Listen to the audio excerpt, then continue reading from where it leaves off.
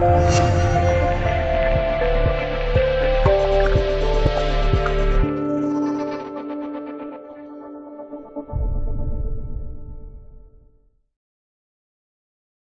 田汽车作为全球范围内的一个重要的车企，在国内的市场中也有着举足轻重的地位。因为丰田旗下的很多产品都是脍炙人口的，比如丰田卡罗拉、丰田普拉多等车型，丰田凯美瑞等，都让国内的消费者非常喜欢。目前，一汽丰田旗下皇冠似乎在国内的市场中过得并不好。这台经历了十五代车型更迭的老车。在德系豪强的打压下，低下了自己高贵的头。不过，似乎丰田对于皇冠的落败有着十足的把握。也就是说，就算丰田皇冠失败了，丰田汽车也将会有足够的回旋余地，因为丰田旗下全新的亚洲龙已经做好进入国内的准备了。作为丰田旗下拥有悠久历史的老车，亚洲龙在国内的时间不算很长。而且很多消费者都不怎么认识它，但是这台行政级轿车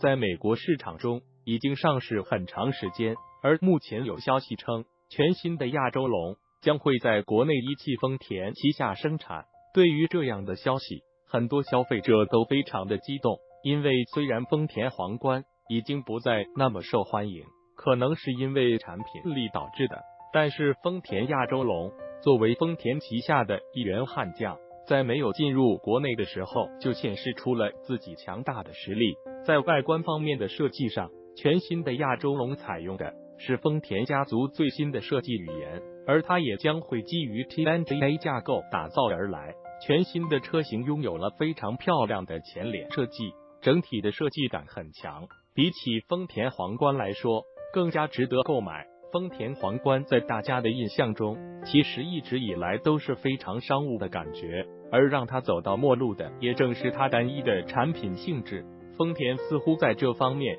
有了非常深刻的认知，而在基于 TNGA 架构打造而来的轿车中，几乎都会有两种版本出现。就拿丰田凯美瑞来说，一种是普通版的，另一种则是运动版。在国内的市场中，大家买车的时候会拥有非常丰富的选择。作为全新架构下的产物，丰田亚洲龙在内饰设计上。有了非常前卫的理念，中控台上的造型采用立体雕刻的设计风格，屏幕的造型也有着很大的变化，与丰田凯美瑞的差异化非常明显。这也让很多消费都愿意为它的独一无二去买单，因为在国内的市场中，大家还是不太愿意买太过于同质化的车子。最后，全新的亚洲龙也将会与凯美瑞一样，拥有更加丰富的产品配置。因为同样是基于 TNGA 架构而来的，在车型上也会有普通版、运动版和混动版，